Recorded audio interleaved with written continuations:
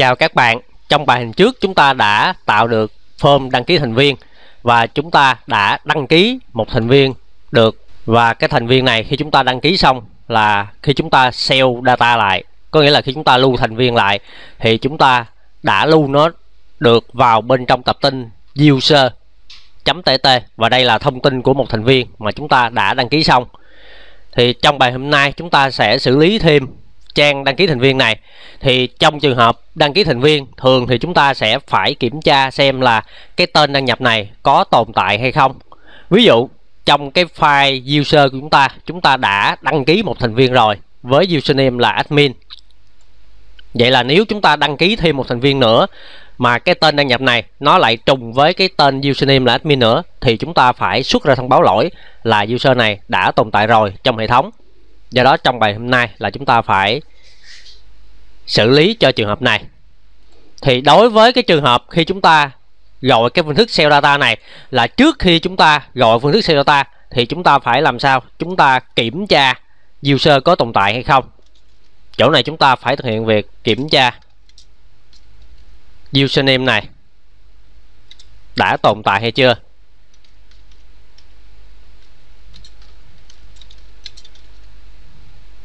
Có nghĩa là chúng ta phải kiểm tra username có tồn tại hay không trước khi là chúng ta gọi cái phương thức sell data này.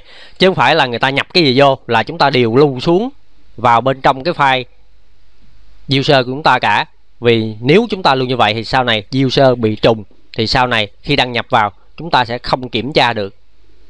Do đó là chúng ta phải thực hiện việc kiểm tra user.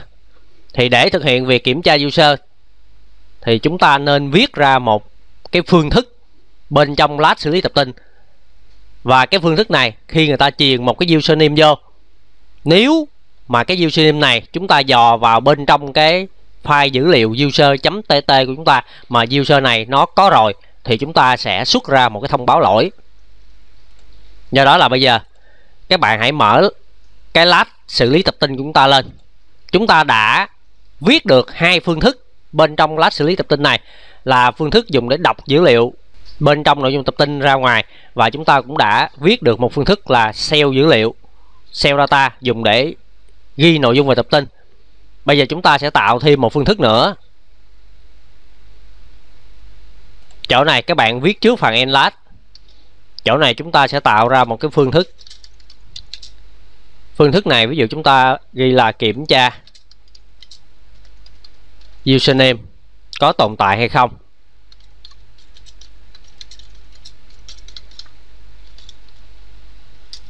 Chỗ này chúng ta sẽ tạo ra một cái function thì trong lập trình hướng đối tượng thì function này chúng ta gọi là phương thức. Ví dụ, cái phương thức này chúng ta gọi là phương thức là test username. Và trong cái phương thức này, chúng ta truyền vào cái tham số username. Và cái username này là sau này chúng ta sẽ lấy từ form. Có nghĩa là người sử dụng khi người ta nhập vào chỗ, cái tên đăng nhập chỗ này, thì chúng ta sẽ lấy cái username này, chúng ta đưa vào bên trong cái phương thức test user này để kiểm tra xem cái username này có tồn tại hay chưa. Bây giờ, khi người ta truyền cho chúng ta vào một cái username ví dụ, khi người sử dụng người ta nhập vào đây, cái user này là user admin, thì cái user admin này sẽ được truyền vào bên trong phương thức test username này. Thì nhiệm vụ của chúng ta là chúng ta phải làm sao? Chúng ta kết nối được với cái tập tin user.tt này. Chúng ta dò vào bên trong cái tập tin này. Chúng ta kiểm tra ngay chỗ cái phần username này, có trùng với cái user người ta nhập vào hay không? Nếu có thì chúng ta sẽ báo lỗi. Bây giờ muốn kết nối được với cái tập tin user.tt chỗ này thì chúng ta cũng sẽ sử dụng phương thức get data. Phương thức get data là chúng ta đã có rồi. Trong cái lát xử lý tập tin của chúng ta, trong cái lát tập tin này của chúng ta là chúng ta đã có phương thức get data rồi. Do đó chúng ta sẽ sử dụng cái phương thức get data này để chúng ta đọc nội dung của cái tập tin user lên. Chỗ này ví dụ chúng ta sẽ tạo ra một cái biến nội dung và chúng ta sẽ sử dụng phương thức get data. Khi chúng ta đang viết bên trong last thì chúng ta phải sử dụng từ khóa đít chỗ này. Chúng ta gọi phương thức get data và trong phương thức get data này chúng ta sẽ truyền vào cái đường dẫn của tập tin user. Chỗ này là chúng ta đang đứng bên trong last xử lý tập tin, mà last xử lý tập tin chúng ta là đang nằm trong last chúng ta muốn đọc qua cái thư mục dữ liệu này để chúng ta lấy tập tin user này lên. Do đó chỗ này chúng ta phải đi ra ngoài một cấp, rồi chúng ta vào thư mục dữ liệu. Chúng ta đọc tập tin user.tt lên. Vậy là cái phương thức get data này, nó sẽ đọc nội dung của tập tin này. Sau khi đọc xong, nó sẽ lưu vào bên trong cái biến nội dung. Thì sau khi có cái biến nội dung rồi, thì lúc giờ chúng ta sẽ tiến hành, chúng ta sẽ cái dấu xuyệt sao này ra. Vì sau này trong cái file user này, ví dụ chúng ta có 10 user đi, thì nó sẽ có 10 dòng như vậy và mỗi một user nó sẽ phân cách với nhau bởi cái dấu xuyệt sao chỗ này. Do đó chỗ này chúng ta cũng sẽ sử dụng cái hàm explore để chúng ta tách chuỗi ra. Chỗ này thì tương tự, chúng ta cũng tạo ra một cái mảng arr và chúng ta sử dụng hàm explore. Chúng ta tách cái dấu xuyệt sao ra. Và chúng ta sẽ tách bên trong cái phần nội dung mà chúng ta đã đọc được trong cái file user.tt bây giờ để test thì bây giờ chúng ta sẽ test thử. Bây giờ để test thì các bạn đứng ngoài lát này. Các bạn tạo ra một cái object thuộc lớp tập tin. Sau khi có cái object này rồi, thì lúc bây giờ chúng ta sẽ sử dụng cái object này. Chúng ta gọi cái phương thức test username. Ví dụ chỗ này chúng ta sẽ truyền vào một cái user tên là admin. Có nghĩa là sau khi chúng ta gọi cái phương thức test username này, thì nó sẽ trả về cho chúng ta cái kết quả nằm trong biến kết quả này. Bây giờ chỗ này các bạn hãy in thử cái mảng AR này ra thử trước tiên là chúng ta echo cái biến nội dung này ra thử xem là nó có đọc được hay không.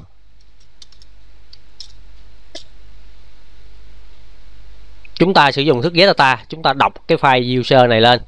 Chúng ta lưu vào bên trong biến nội dung. Rồi chúng ta in ra thử cái biến nội dung này thử. Bây giờ các bạn review thử cái lát xử lý tập tin của chúng ta thử. Thì bạn thấy là cái phương thức get data của chúng ta là nó đã đọc được nội dung bên trong tập tin user.tt lên.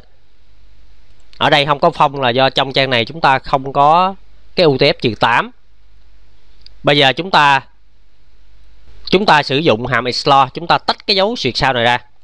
Chúng ta tách cái dấu xuyệt sau chỗ này ra và chúng ta sẽ tạo ra một cái mảng ARR bây giờ các bạn in thử cái nội dung của mảng ARR này ra thử. Chúng ta rin error khi in một cái mảng ra thì chỗ này các bạn cũng in luôn cái thẻ free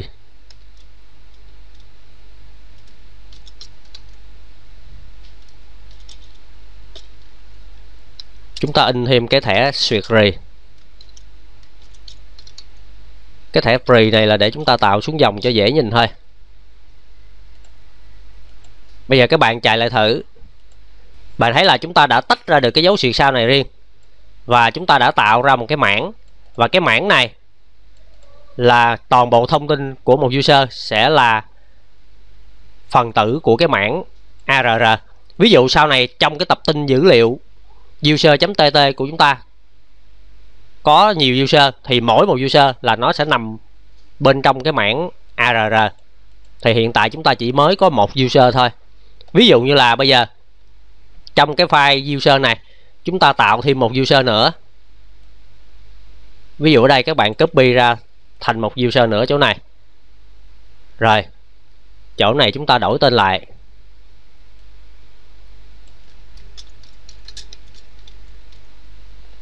Địa chỉ các bạn đổi lại, ví dụ email.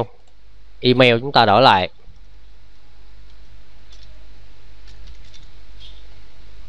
User này, ví dụ chúng ta đặt tên lại. Password.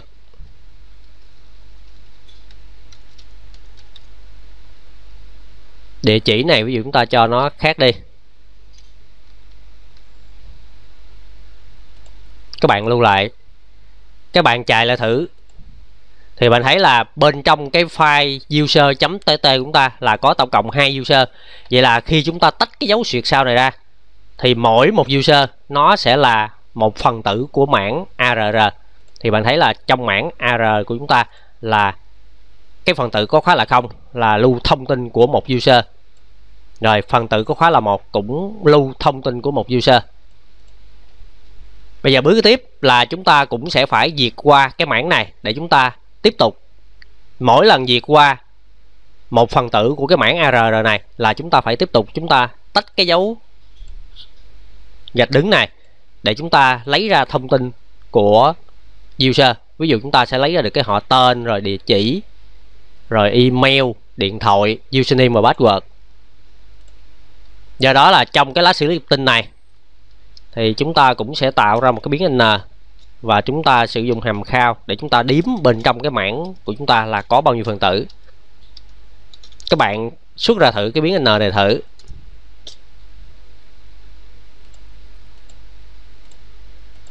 Thì cái mảng này tổng cộng có 3 phần tử, nhưng mà cái phần tử cuối này là không có thông tin. Do đó là khi chúng ta duyệt qua cái mảng ARR này là chúng ta chỉ duyệt qua hai phần tử đầu tiên thôi. Ở đây thì để duyệt mảng thì cũng giống như cái bài thực hành trước là chúng ta cũng sử dụng vòng lặp for để chúng ta duyệt đầu tiên chúng ta cho y bằng 0 và cái biến điểm y chúng ta nhỏ hoặc bằng n trừ 2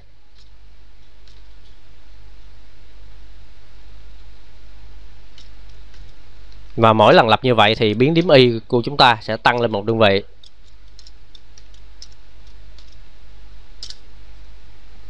Ở đây chúng ta lấy n trừ 2 n của chúng ta hồi nãy là 3 3 trừ 2 bằng 1 vậy là chúng ta duyệt qua từ 0 tới 1 có nghĩa là hai phần tử. Chúng ta duyệt qua hai phần tử này.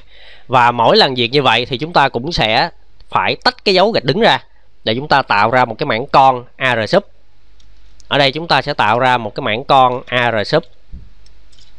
Chúng ta dùng hàm explore chúng ta tiếp tục chúng ta tách cái dấu gạch đứng ra cái kỹ thuật tách cái dấu xuyệt sao với tách cái dấu gạch đứng này ra thì chúng ta đã làm nhiều rồi trong các bài hình trước. Chỗ này chúng ta sẽ tách cái dấu gạch đứng bên trong cái mảng ARR ở phần tử có cái khóa là y. Có nghĩa là mỗi lần lập y thì chúng ta sẽ đi tách cái dấu gạch đứng bên trong cái mảng ARR ví dụ ở lần lập y bằng 0 thì chúng ta sẽ vào bên trong cái mảng ARR ở phần tử có cái khóa là không ở phần tử có khóa là không, chính là cái phần tử này. ARR ở phần tử có khóa là y, chính là thông tin của một user. Đây là thông tin của một user. Khi chúng ta tách ra, thì tất cả các thông tin của cái user này, nó sẽ lưu vào bên trong cái mảng con AR sub, bao gồm là họ tên, rồi địa chỉ, rồi email điện thoại, username, password. Thì sau khi tách ra được rồi, các bạn in ra thử cái mảng AR sub này ra thử. Chúng ta in R, cái mảng con AR sub này. Để dễ nhìn thì các bạn cũng cho nó có cái thẻ free để nó tạo xuống dòng cho chúng ta.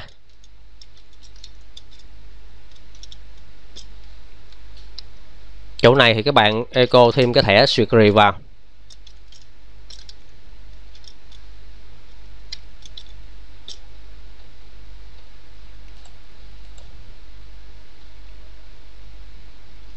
Các bạn chạy thử.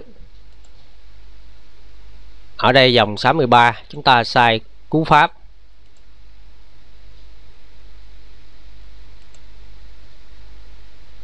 Chỗ này chúng ta thiếu một cái dấu nháy. Các bạn lưu lại. Vậy bạn thấy là đây là cái mảng ARR có 3 phần tử, chúng ta diệt qua hai phần tử. Ở lần diệt đầu tiên, thì chúng ta lấy cái chuỗi này chúng ta dùng hàm slot chúng ta tách cái chuỗi cái đứng này để chúng ta tạo từng phần tử của cái chuỗi này. Chúng ta tạo thành phần tử của mảng con AR sub. Vậy là bạn thấy là đây là phần tử của cái mảng con AR sub. Đây là phần tử thứ nhất, đây là phần tử thứ hai. Thì trong phần tử thứ nhất của mảng con này thì chúng ta đã tách ra được cái thông tin của một user ra riêng, bao gồm là họ tên, địa chỉ, email, số điện thoại, username và password ở lần việc thứ hai thì chúng ta sẽ vào cái mảng ARR chúng ta lấy cái chuỗi này, chúng ta tiếp tục chúng ta tách cái dấu gạch đứng, thì chúng ta sẽ được cái mảng con AR sub chứa thông tin của user thứ hai này. Đây là tên, rồi địa chỉ, email, điện thoại, username và password. Thì bạn thấy về cái kỹ thuật này là trong các bài trước thì chúng ta cũng đã làm nhiều qua rồi. Bây giờ chúng ta sẽ kiểm tra xem là cái username nó có trùng hay không khi người ta truyền cái username này, ví dụ người ta truyền cái username admin này vào cái phương thức test username này, thì nhiệm vụ của chúng ta là sau khi chúng ta tách ra được cái mảng con ARSUP này rồi, thì chúng ta sẽ đi vào bên trong cái mảng con ARSUP này. Chúng ta sẽ dò bên trong cái mảng con ARSUP ở phần tử có cái khóa là 4 xem cái username này nó có bằng với cái username mà người ta truyền vào bên trong cái phương thức test username này không nếu mà chúng ta dò qua từng phần tử bên trong cái mảng con ARSUP này, mà cái phần tử có cái khóa là 4 này, nếu mà cái username của nó bằng với cái user mà người ta truyền cho chúng ta, thì chúng ta sẽ trả về cái tên của cái username này. Có nghĩa là cái user đó có tồn tại. Còn nếu mà khi chúng ta diệt qua cái mảng con ARSUP này, chúng ta diệt qua hết tất cả các phần tử này, mà chỗ cái phần tử có cái khóa là 4 của cái mảng con ARSUP mà chúng ta không tìm thấy bất kỳ một cái username nào thì chúng ta sẽ trả về kết quả là false. Có nghĩa là user đó không tồn tại bên trong cái file dữ liệu của chúng ta. Do đó chỗ này chúng ta sẽ sử dụng phát biểu if để chúng ta kiểm tra. Nếu nếu trong cái mảng con ARSUB ở phần tử có cái khóa là 4 phần tử có cái khóa là 4 thì nó chứa cái thông tin về username. Nếu nó bằng đúng với cái username mà người ta gửi cho chúng ta thì trong trường hợp này, chúng ta sẽ trả về đúng cái username đó luôn. Chỗ này chúng ta sẽ return về đúng cái username này.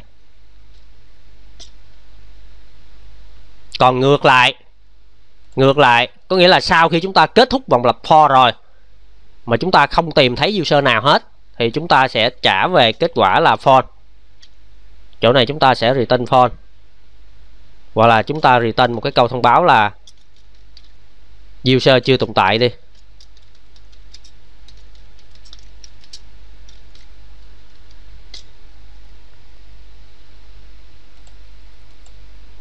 Bây giờ các bạn hãy echo thử cái kết quả này ra thử.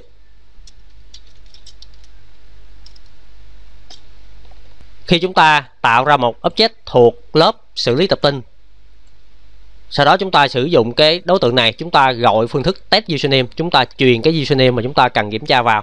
Thì lúc giờ nó sẽ chạy lên cái phương thức kiểm tra này, nó sẽ chạy cái hàm này. Và nếu mà nó tìm được thì nó sẽ trả về bên trong kết quả này là đúng là cái username mà nó tìm được. Còn nếu nó không tìm được thì nó sẽ trả về cho chúng ta câu thông báo này. Vậy là khi chúng ta echo cái kết quả này ra thì sẽ có kết quả là một là nó sẽ in ra cái username đã tìm ra hai là nó sẽ in ra cái câu thông báo là user này chưa tồn tại. Ví dụ ở đây chúng ta truyền vào cái chữ admin. Các bạn chạy thử xem nó in ra cái gì. Thì bạn thấy ở đây là nó đã xuất ra được cho chúng ta cái user admin.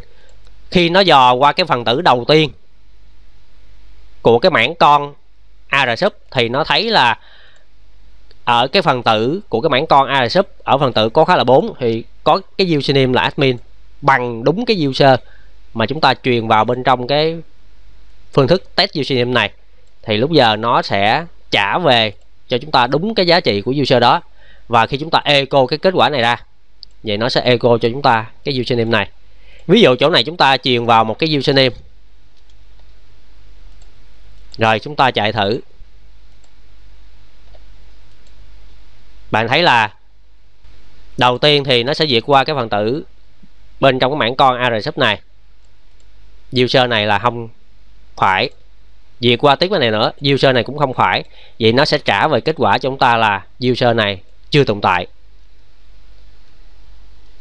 Thì đây là cái phương thức mà chúng ta sẽ viết ra thêm trong bài hôm nay. Đó là phương thức test username và cái phương thức này có nhiệm vụ là nó sẽ kiểm tra cho chúng ta cái user mà người ta truyền vào phương thức này có tồn tại hay không nhiệm vụ của người ta là người ta cứ đưa cho chúng ta một cái username. Và chúng ta sẽ dùng cái thức test username này chúng ta chạy để chúng ta kiểm tra xem cái user này có tồn tại bên trong cái tập tin dữ liệu user.tt này không. Nếu có thì chúng ta xuất ra cái user đó cho người ta, còn nếu không có thì chúng ta in ra là cái user này chưa tồn tại. Thì nhiệm vụ của chúng ta là trong bài hôm nay là chúng ta hãy viết ra cái phương thức này bây giờ sau khi các bạn viết chạy rồi thì mấy cái lệnh echo này các bạn khóa lại. Chúng ta viết để chúng ta kiểm tra từng bước chương trình chúng ta chạy như thế nào thôi. Các bạn khóa các lệnh echo này lại. Các lệnh ring, các mảng con này các bạn cũng khóa lại. Chỗ này là để chúng ta kiểm tra, chúng ta chạy thử cái phương thức test username chúng ta vừa mới viết bên trên nó có chạy hay không. Sau khi viết xong thì các bạn đóng lại. Chỗ cái return này thay vì chúng ta ghi là user chưa tồn tại thì giờ chúng ta, chỗ này chúng ta return false. Nếu user có tồn tại thì chúng ta trả về cái username của nó luôn, còn ngược lại thì chúng ta return false. Thì đó là bài thành hôm nay của các bạn, là các bạn hãy bổ sung thêm bên trong cái lát xử lý tập tin của các bạn, cái phương thức dùng để kiểm tra username có tồn tại hay không. Và các bạn hãy chạy thử xem cái phương thức của các bạn chạy có đúng hay không. Chúc các bạn thực hành bài lắp này thành công. Chào các bạn.